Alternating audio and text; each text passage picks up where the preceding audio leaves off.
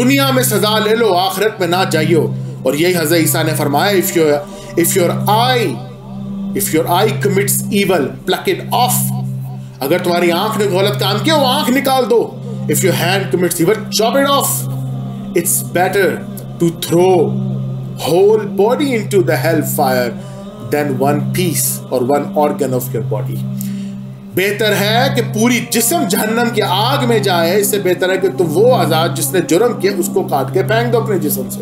یہ حضرت عیسیٰ علیہ السلام ہیں، آپ کی بائبل میں فرما رہے ہیں۔ حضرت عیسیٰ علیہ السلام فرمایا جس نے اپنے ماں باپ کو گالی دی یا ماں باپ کی گالی دی، اس کو رجم کر دو، اس کو قتل کر دو، اس کو سٹون کر دو۔ بڑے پیس لونگ ہمیں میسیجز دیتے ہیں۔ یسو مسیح، یہ بھی تو دیا کرو نا۔ حضرت عیسیٰ نے کہا، whosoever swears his father and mother stone him to death مار دو اس کو۔ یہ حضرت عیسیٰ کا فتویٰ ہے، آپ کی بائبل میں معاف کرنا جا کے پڑھیے گا۔ آپ کو مسئلہ یہ ہے کہ آپ لوگوں نے اپنی بائبل کبھی پڑھی نہیں۔ نہ آپ کے پاس کوئی حافظ ہے، حافظ تو کیا سونے پہ سہاگا حافظ قیامت کی صبح تک نہیں پیدا ہو سکتا ان کے بیچ میں۔ ایک ورژن ہوگا تو حفظ ہوگا نا۔ نہ تمہارے پاس کوئی بندہ جو بائبل زبانی پڑھ سکے۔ کوئی میں نے آج تک پادری نہیں دیکھا جو اپنے لیپ ٹاپ، گیجٹس یا ورقے یا کاغذ کے بغیر بیان دے دے۔ سامنے بائبل کھول کے بیٹھا ہوگا۔ اور مناظرے میں تو امپاسبل ہے کہ وہ بائبل کے بغیر مناظرہ کر دے۔ وہ تو بالکل نپینا اور اندھا ہے، کیونکہ وہ غلام ہے ترجموں کا۔ ترجمے لے لے کے اس نے آگے ساری پریچنگ کرنی ہے۔ تو دیکھیں، عجیب منافقت ہے یہ ویسٹ کی کہ تم جو مرضی بولو رسول اللہ کے بارے میں، یہ فریڈم آف سپیچ ہے۔ اور اپنی ساری جو صلاحات تم نے خاص رکھی ہیں، وہ فریڈم آف سپیچ کے زمرے میں نہیں آ اس کی پینل کوڈز ہیں۔ ان کے، اس کے پینل کوڈز ہیں، اس کی پینلٹی ہے، اس کی سزا ہے کورٹ آف لاء میں۔ پرسنل رائٹس پہ تمہیں ہیوملیٹ کر دیا تو بھائی رسول اللہ ہمیں اپنے ماں باپ سے زیادہ عزیز ہیں۔ تو جب ماں باپ کی سینٹیمنٹس کے ہیوملیشن میں آپ کیس کر سکتے ہیں، تو رسول اللہ ہمارے لیے کیا ہے؟ ان کی بیویوں کا تم لوگ مذاق اڑاتے ہو، خاکے بناتے ہو، کیونکہ علم تمہارے پاس ہے نہیں۔ گھٹیا لوگ ہو، جو گھٹیا، گندی مینٹیلٹی ہے، اسی مینٹیلٹی تمہارے ہاتھوں پہ آتی ہے۔ کیونکہ جو انسان کی مینٹیلٹی ہوتی ہے، وہ اس کے عمل میں آتی ہے۔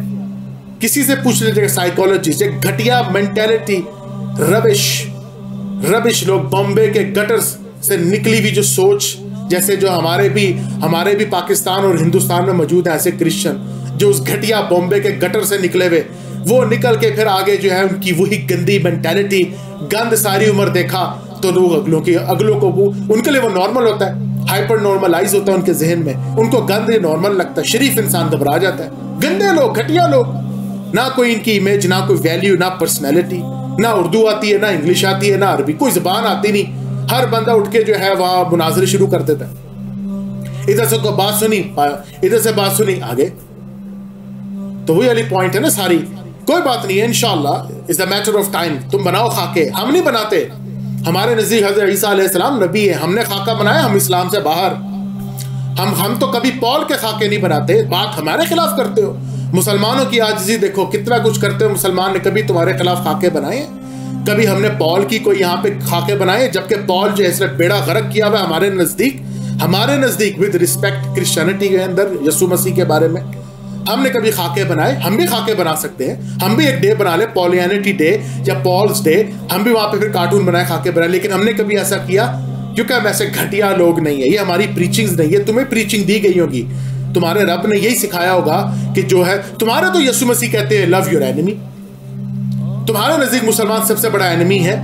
تم نے ہمیں کیا لو دیا؟ یہ لو دے رہے ہو، تم تو ہمیں ہرٹ کر رہے ہو۔ تم تو اپنی پریچنگ کے بھی خلاف ہو۔ تم اپنی جیزس ٹیچنگ کے بھی خلاف ہو۔ تم ہر چیز کے خلاف ہو۔ تم صرف پال کے فالوور ہو، تم پولینز ہو۔ تمہارا ریلیجن پولینٹی ہے۔ پال کہتا ختنے نہ کرو۔ یسو المسیح کے خود اپنے ختنے ہوئے ہوئے ہیں۔ لوک کے اندر چیپٹر ٹو میں۔ اور پھر اولڈ ٹیسٹمنٹ میں موسا تم کہتے ہو، نہیں جی اب جو ہے پال کہتا ہے جی خطرے نہیں، خطرے سے پتہ ڈریم دیکھ لیا، کیا ہو گیا؟ خطرے تو جناب بابا اب جو ہوں گے، کس لیے ہوں گے؟ اب تو دل کے ہوں گے۔ تو دل کے خطرے کرتے رہو قیامت کی صبح تک۔ میڈیکل اعتبار سے سرکمسیجن کرتے ہو، روحانی اعتبار سے تو نہیں کرتے نا ابراہیم کے کووننٹ سے۔ تو یہ تو تم لوگ پولینٹی ہے، تم لوگ کے پاس پولینز ہو تم لوگ۔